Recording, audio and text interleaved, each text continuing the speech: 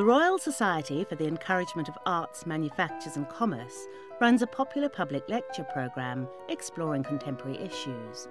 Teachers TV has access to these lectures, and today we bring you a lunchtime talk by Emma Thompson and Helen Bamber on the subject of sex slavery and human trafficking. The Helen Bamber Foundation has pioneered work in the area of human rights, and their public installation, called Journey, highlights the stages of suffering experienced by sex slaves who've been trafficked into this country. This afternoon, they discuss the installation and the issues it raises. Yeah. Well, I think because we don't have very much time and we have an awful lot to discuss here, um, I'd like to start just by describing um, how Journey came about. Can I ask you, if you don't mind being feeling like mm. you're in a schoolroom, if anyone has actually seen the installation?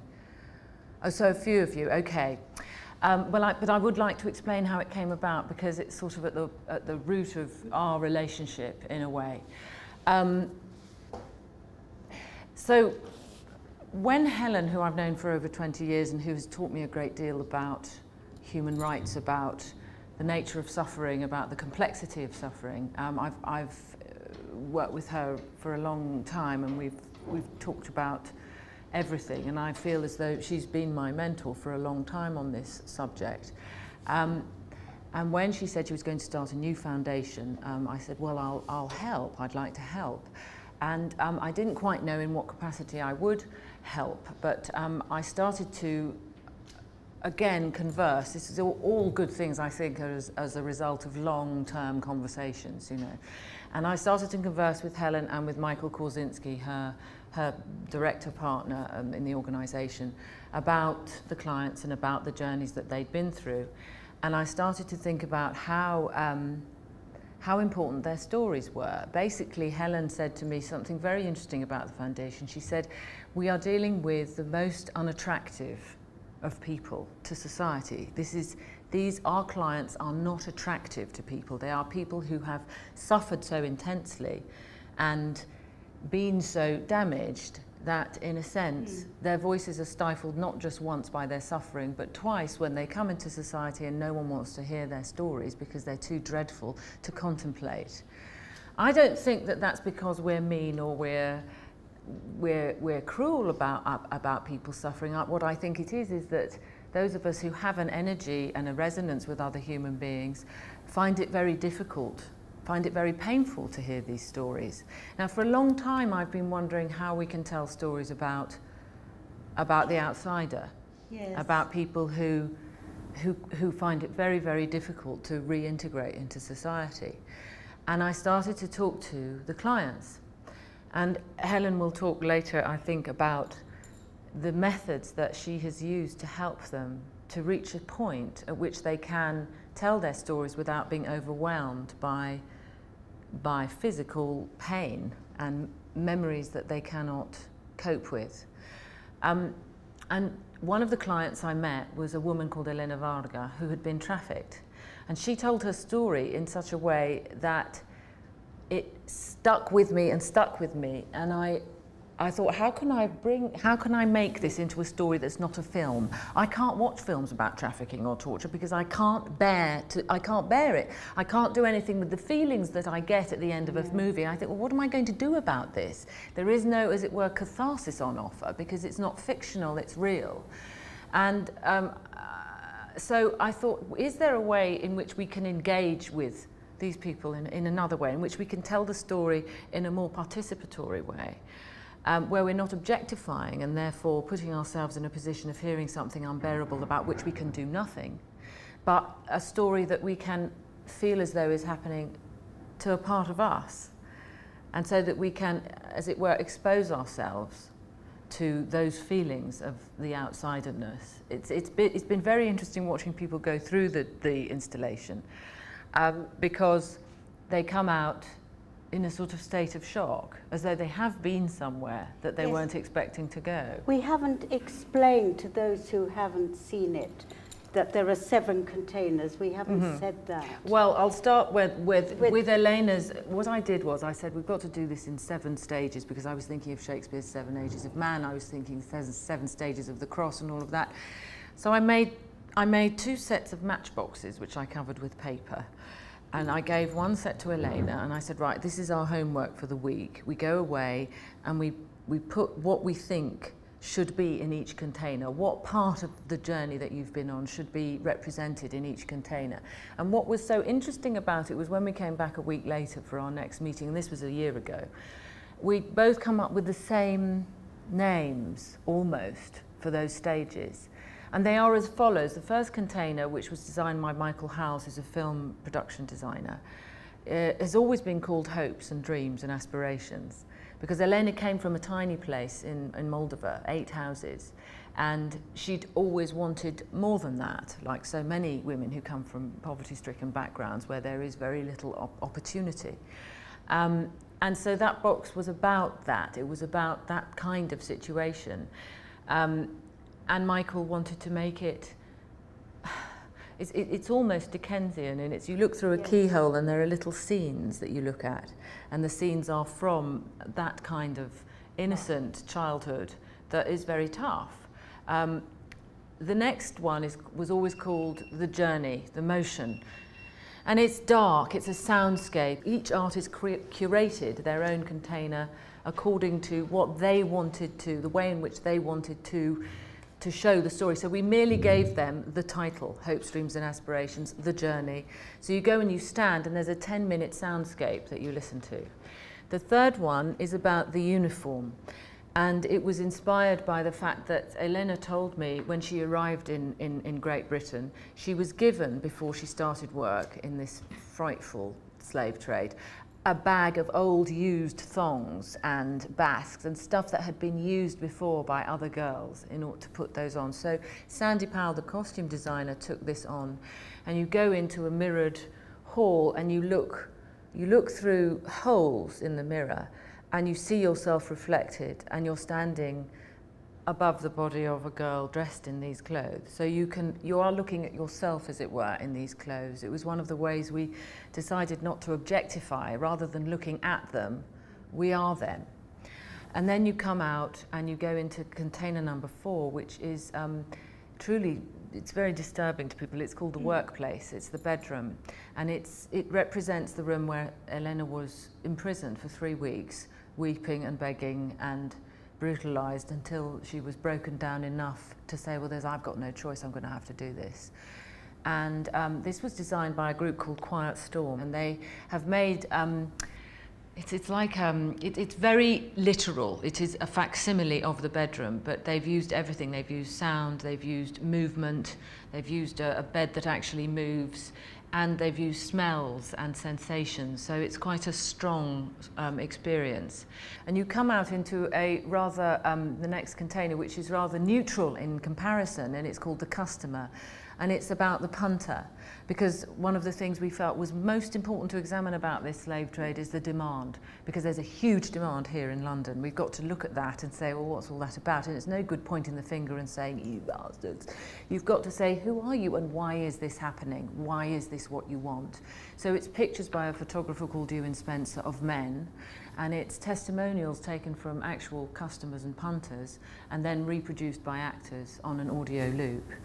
Then the next box is Anish Kapoor's sculpture, which is a strange, um, sensational, again, sort of, he calls it um, performative, yes, yes, and it's a void. So you, if you stand in front of it, it seems to draw you into the darkness. And we've given him the, the curatorship of the word stigma, and this is what he came up with. And you go around the other side, and the, uh, the structure comes out at you physically it's a, it's a cone, as it were. And if you stand in the right place, it seems to just come towards you. It's a very powerful, very but entirely powerful. abstract experience. Mm. And then the last container is something that we called the language container, and it's the container that Mike, Mike and I um, were responsible for. And it's about the language of nullification and and rejection. Um, it's about Home Office language. It contains Home Office guidelines, interview guidelines, which are actually not bad. And then underneath, there are little pieces from Home Office determinations, negative determinations, all related to trafficked women, who are in, which are in direct and ironic contradiction to the guidelines that that the interviewer has presumably been given. And then on the other side, there's Laura Carlin's drawings, beautiful cave, like cave paintings of, of women. And while you look at this, you listen to Elena's voice, um, which has been altered obviously to protect her identity, um, telling her story. It's a 15 minute audio, and what this was the most unexpected thing about the installation, which none of us knew. Well, none of us knew what it would be like until it, as it were, arrived um, was that I thought, having taken Elena's interview and cut it, that people would lis listen to a little bit and then move on. Yeah. But what we didn't realise was the power of the story, her story, and her telling of it is so strong that people stand there for 15 minutes and listen. And it's like being in a church because they're listening to an audience. So there's silence, and yet you can just hear these tiny little tinny voices, and then people come out and we jump on them and say, come and sign the petition and well, um, work out what they they wander toward us. Yes, they do. They That's do. They I, wander I toward us. Yes, and it's very interesting. Some of the things that they say. One man, um, and this says something about my own reaction, my own assumptions. I wouldn't have expected to hear it from him. says something about me, actually. And that's what this whole exhibition, this whole installation is really about. It's about the other, but it's also about us. Mm. So I learned something very quickly then about my own quick and incorrect assumption. He came up to me and he said, You know, I can't help thinking that this could have happened to my sister or even to my mother and he had tears in his eyes. And I don't know any more than that, but we talked for quite a long time about everything and nothing. He signed the petition, which is a petition to persuade the government by signatures to ratify the European Convention on Trafficking. And it's very interesting. Yesterday I was with Emma we were both at the, the little booth. It was very windy, so you're standing there really quite exposed. The wind blows, papers are flying, you have inadequate paper, right. whatever it is, and you're, you're managing chaos. And a school, a, a group of school kids came up which, you know, had I been a, a, child, I might have walked over the other side of the road you know, had I been, Absolutely. you know, alone. Mm. There was a group of kids, and they were absolutely incredible, weren't they? They talked, of course, they were thrilled to be speaking to Emma, but they spoke very openly, very easily. They were going to take it to their school and they were going to try and put on a play. I've got a feeling you may be asked to do something but because they did say that to me when you were out of hearing. but, um, and I haven't mentioned it before now, but um, I did say you were rehearsing in the morning and you were very busy at the moment, but I think uh, they're quite determined. And there were boys, there were quite a few boys, and they all wanted to sign the petition and they wanted to go back to the school and do something about it. So um, of course, you do meet some people who are in, in denial. Of course, you do. Um, and who have adopted a kind of phraseology of denial about people wanting to come here to have a better life, etc., etc. Of course, you do. But um, I must say, I, I've been, I've been quite amazed at the comments of people and the stillness, despite the, the, fact that we're standing there in the wind and, and at one stage with the rain, but there's also a stillness as people can't quite articulate what they want to say, but are wanting to communicate. So it's a very extraordinary experience to be in this little booth in Trafalgar Square and to communicate in the way that people need. I think in some ways our, the idea of trying to share something rather than impose something is what it's all about. And um, I don't know if we could do that on other issues as well, but there it is. It's, it's extraordinary, quite extraordinary. I think that there's an awful lot that we can extrapolate um, here because there's uh, many different areas that we can discuss and I would like you to guide us. You could just tell us what you would like us to address. That would be great. Could you put it in context in relation to the buying and selling of sex? Yes. Um, I guess you're talking about the, uh, the Venn diagram overlap it has with prostitution. One of the things that we've had to make very, very clear is this is not, this is not an installation about prostitution. This is an installation about the buying and selling of human beings in order to use them as slaves in a sexual workplace. So it's not about prostitution in that sense. I think that the larger argument, however, about why we still do this, the oldest profession on earth, why we've never questioned that, why we don't actually sit down, men and women together, and say, what, what is this? Why do we do this? Because actually, it's the, you listen to the testimonials of the men who, um, who do buy sex from foreign prostitutes who they do not know or cannot speak English, do not question that. It's very interesting. The, the there, are, there is a great level of denial in some of them, but some of those testimonials are very sad and very understandable. Men whose wives have died of cancer who don't know how else to deal with their sexual needs. Um, clearly we're not addressing that because sex and our real sexual needs are still taboo. We think that we had a sexual revolution. That's just nonsense. We understand sex so much less now, I think, than we maybe did before when it was still hidden. It still had its mystery and there was still a curtain across it. Behind there, people were probably being a little bit more honest than they are now. I suggest that there is an enormous debate to be had about our relationships with each other our sexual relationships with each other.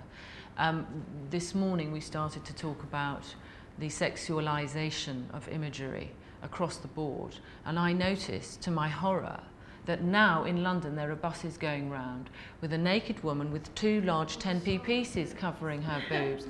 What is going on. We all have to write to Ken Livingstone and say, this is not to be allowed, not to be borne. I am sorry, this is our city. We must take responsibility for these images. If a young girl who is not yet able to read the Sun 20p and make the connection between some idiot and this photograph, all she's going to see is a woman with two money pieces on her. What does that say? And she's naked female nudity and money, again, put together. Women can be bought. They can be bought. And that somehow, and you listen to the testimonials, that means that they are complicit because the, there is an economic thing going on and that makes it okay.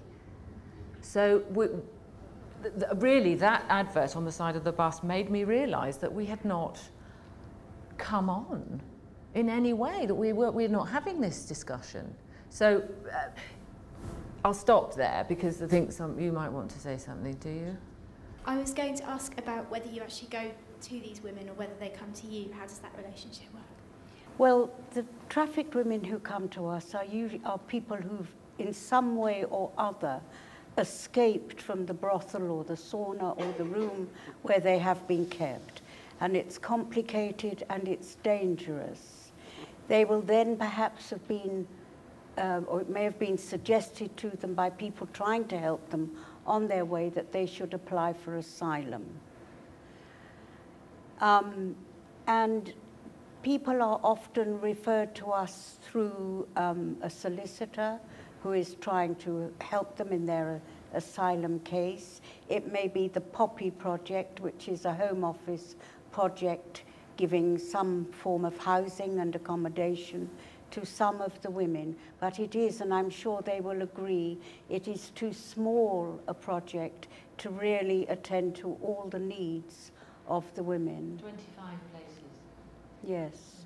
So, but I mention it because they are doing a good job, but they they would like to do, I'm sure, very much better.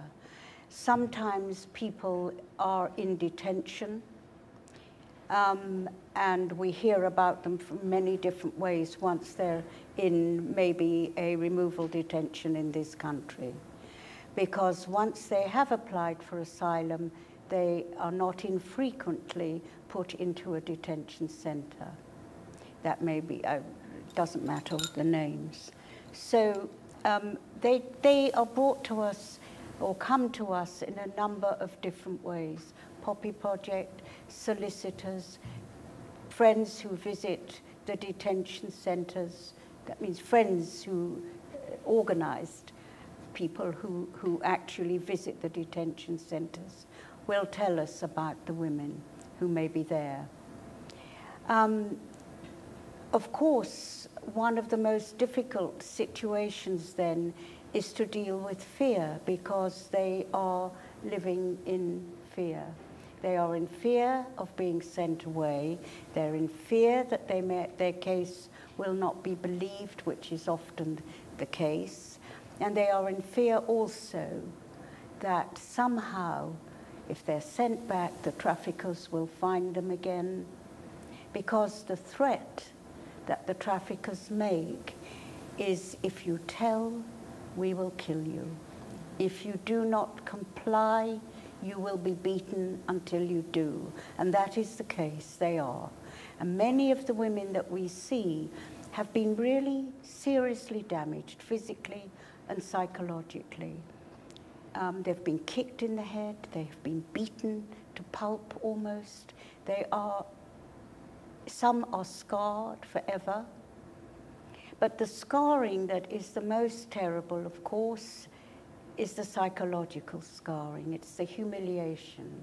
It's the loss of everything that they'd ever hoped for, the loss of their body, the loss of any kind of physical or psychological integrity. And they are lost. And that's where we come in. So, how do they come to us? Um, many different routes, but we are there, and believe you me, they do find us. Um, could you say a little bit more about the EU directive and whether we are resisting signing it or not? Certainly. Um, the European Convention Against the Trafficking of Human Beings is terribly, terribly important. Now, um, David Cameron was down on Monday and saying, yes, well, we're a little bit, you know, there are certain things. And I said, oh, what's that? Is that the pull? The problem that they identify governmentally, um, because it's, it's very much in the news and it's very much taken up by the newspapers, is what is called the pull, which means the possibility of bogus asylum seekers using this as a loophole in some way. Now, I had a big long chat with the UK's top barrister in trafficking yesterday about the convention. And for those of you who don't know what the convention is for, it is basically for, first of all, the protection of women who have been trafficked. Then it is for the prevention of further trafficking and it is for the prosecution of traffickers. Because believe it or not, these women exist as criminals. They are criminalized by their own misfortune because they've given over their passport and when they arrive here, there is nowhere for them to exactly. go. If a police go, policeman goes, and we've spoken to police who've done this, to a raid, there's 100 girls, none of them speak English, they're all weeping, there is nowhere for them to go except into a police cell or to a detention centre. So how on earth are we going to address this problem? We need data and we need to give these women time. So within the convention, there's the possibility of having three months, up to 30 days actually, first of all, of recuperation. Um, now, and a sense of safety. That's right, yes. But what, what the issue is for the government is what if that's used in some way? Now, one of the countries that is absolutely what miles ahead of any other European country is Italy. Now, in Italy, they've had, they ratified it a long time ago, but not only did they ratify it, they actually put into, into process in their country their methods of monitoring and evaluating the effects of this period of of rest. And what they, what they saw was they weren't getting any more cases of bogus asylum seekers. What happened was they found they could very easily identify the people who were not actually and not actually been trafficked because of the fact that they ask and they require that those women engage with the services that they're being offered throughout that three months with counselling with um, a rehabilitation program that is on all kinds of levels. And they found that those women who did not come forward to engage with those processes were the ones who were not actually had not actually experienced that trafficking. They were much more, they were much better equipped to identify those people who had actually been trafficked by having offered them the services that they so desperately needed. We don't have the capacity to do that at all in this country and it's terribly frustrating for the police. And in fact the Met were the first people I went to. I well, actually no I went to Ken Livingstone and said can I have Trafalgar Square? That was the first thing to get a sight you know he said oh yes I suppose so and um, uh, what are you going to do with it? He said. I don't know yet. I'll think of something. Um, and um, the Met were great because they said, you know, what we need, we desperately need these women to know that we don't regard them as criminals because that's mm. what they're told by their traffickers. The police, you must not trust the police. And of well, course, will, you will be really badly damaged by us if you do. A, that, yes. and B, if it's not by us, it'll be by them. Yes. And many of the women on deport, upon deportation, because they're often deported in their whore's weeds, will arrive at their country of destination, their country of origin, and be raped by the police as soon as they get off the plane, because they're wearing this stuff. They're not allowed access to their own clothes. They're not given civilian clothes. They're deported in the, in the thongs. I mean, it's just extraordinary what we're doing. Does that kind of vaguely answer your question? Okay. I mean, these are women, young women, who've never known protection of any kind, really. Many are without families, and certainly if they ever do approach the police, they're often abused, because in many countries, the police are, are implicated in the procedure. This gentleman here. Yes, um, I'd like to challenge the use of words here. Um, we're using the word slavery, and it seems to kind of water itself down from plantation slavery to trafficking in women to domestic abuse. Um, let's remember what plantation slavery was about. They're talking about hot pepper salt being sometimes rubbed into open wounds. Slaves were splashed with burning wax, and women's shameful parts were burnt with hot coals. And one master attacked his slave and bit off their flesh. Some were buried alive after being forced to dig at their own graves. One chef was thrown alive into the oven when the master was unhappy with the meal. And we're talking about people being worked to death over three years. Now, I have absolutely every sympathy and support for what you're doing, but to say it's the same in this year of the abolishing slave trade, of plantation slavery, I feel there's a certain violation taking place there.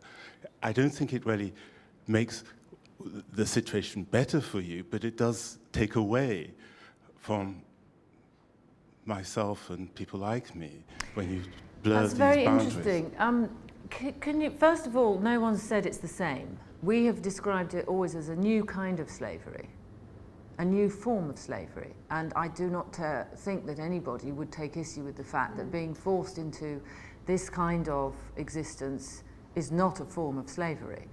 Uh, so no one is, as it were, in a competition about how dreadful things can be for people.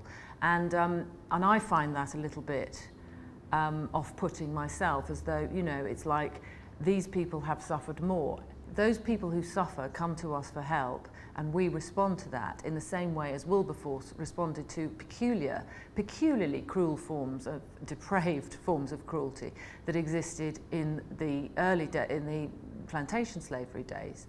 Um, it was a different era of slavery and um, goodness knows, and I know those stories very, very well, um, it was unspeakable. Um, and it was a Holocaust and it was a genocide and it was all of those things. Um, I have a real problem when we take words and say this only can apply to this kind of suffering and this kind of suffering is worse than this kind of suffering. Yeah. It's not good enough to do that. What is what, all that we can do as human beings, as compassionate and responsible human beings, is say this is suffering, this is a form of slavery, what are we going to do about it?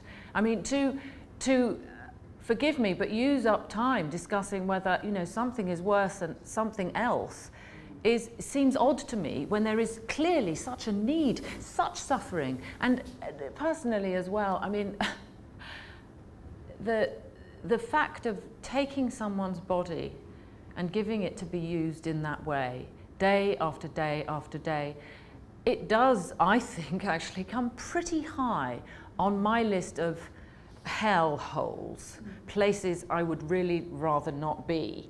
Um, and and I don't, I don't really see how anyone can sort of win this kind of argument. It's not something that I would wish to enter into as a sort of, to try and persuade you that this is as bad as or worse than or less bad. I don't think that's the point. The point is it's awful, it's another form of slavery and we must act. Mm. And, uh,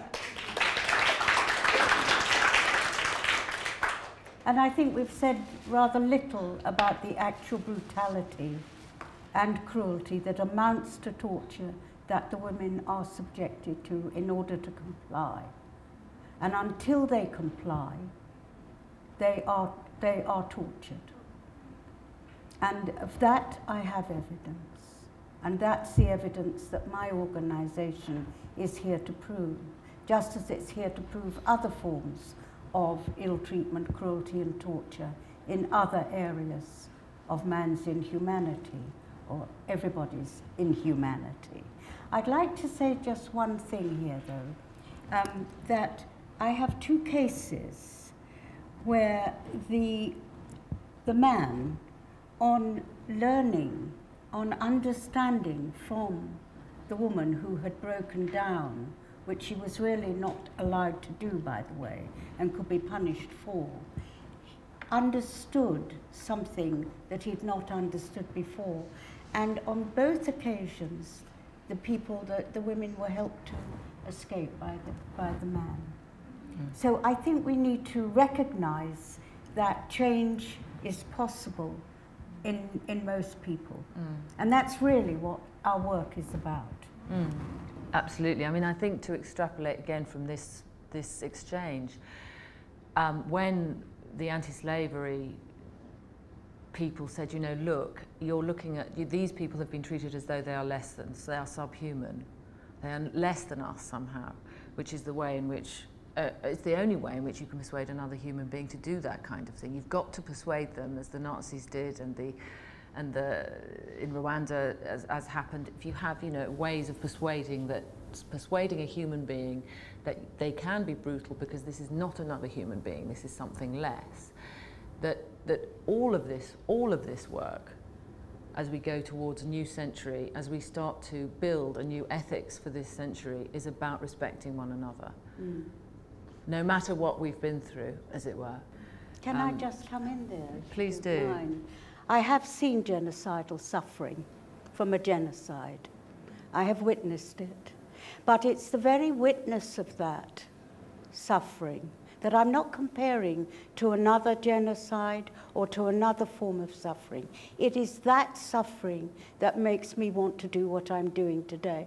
It's not because I've seen something that you may say is greater or bigger or worse that is going to stop me. It's about a degree of suffering and, and, and something awful in our own society that needs to be put right. And we have to deal with all forms of cruelty.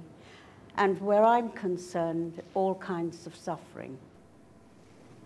Um, are there any reliable numbers, any figures of women currently trafficked in this country, and how do we compare with the rest of Europe? And are there reliable numbers? It's about 4,000 a year are trafficked. That's mm. the hmm. figure I think that Worldwide, it's something akin to sort of 800,000, but we don't really have figures. I mean, it's such a hidden criminal industry. I mean, it's the biggest criminal industry after drugs and arms. And because it's clandestine, it's necessarily, obviously, very difficult to get reliable data.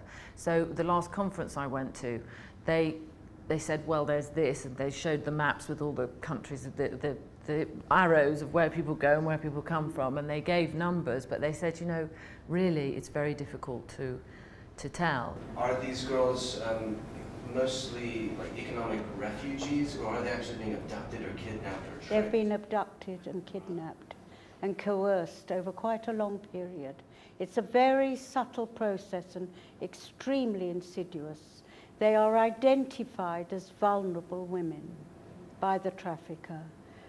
And it isn't just a question of they're suddenly taken. Very often they are quietly seduced about. We, I know somebody who might be able to give you some accommodation for a little while, and they'll take them to a woman very often somewhere in the town who will look after them, and then they will bring them one or two things, but very careful. They never overdo it. It's very subtle, very, very subtle. It can take six months. Hmm.